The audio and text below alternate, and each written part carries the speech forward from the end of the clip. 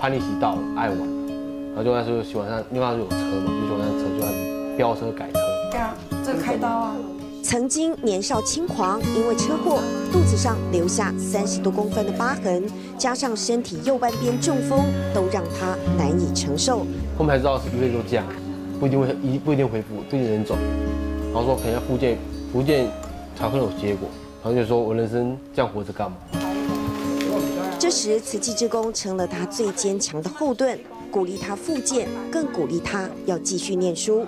我讲话拢在听，我讲叫伊。认真读书，未来的出路叫懂去找工作。嗯。十四岁那一年，他打工，左手四根手指头被压断，车祸又让右手没有力气，他靠着大拇指夹住画笔。